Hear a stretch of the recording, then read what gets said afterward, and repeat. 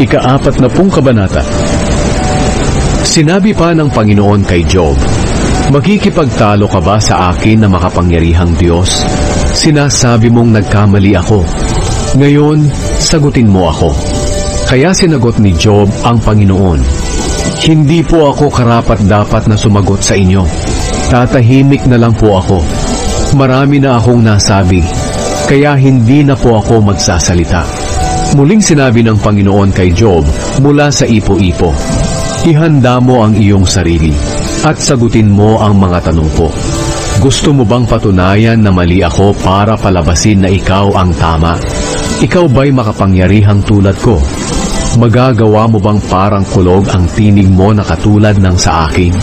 Kung magagawa mo iyan, patunayan mo na ikaw nga'y makapangyarihan, marangal at dakila.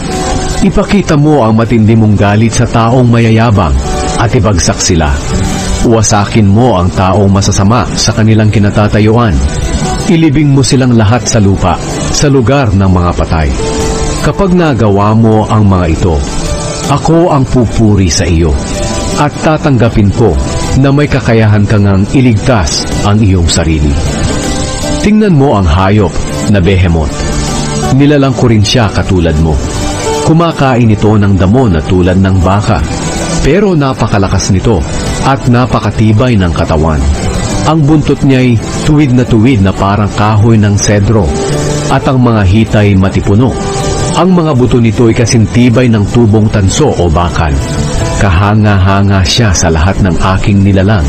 Pero ako na manlilikha niya ay hindi niya matatalo. Nanginginain siya sa mga kabundukan habang naglalaro ang mga hayop sa gubat malapit sa kanya. Nagpapahinga siya sa matitinik na halamang natatabunan ng talahib. Ang mga halamang matinik at ang iba pang mga punong kahoy sa tabi ng batis ay nagiging kanlungan niya. Hindi siya natatakot. Kahit na rumaragasa ang tubig sa ilog, tahimik pa rin siya. Kahit halos natatabunan na siya ng tubig sa ilog ng Hordan.